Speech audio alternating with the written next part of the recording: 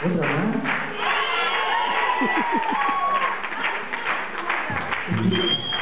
que pasa es que ya no veo más.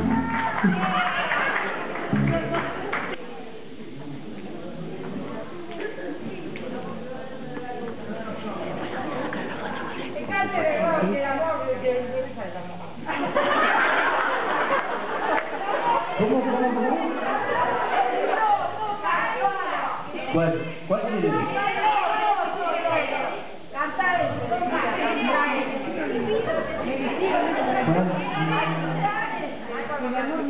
¿Otra romántica?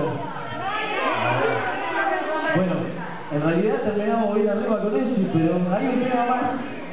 Hay un tema más que es un tema que, que grabé en el primer disco, es un, tema de, de guitarrista de Luis Miguel, que se llama Ben, y dice de esta manera, a.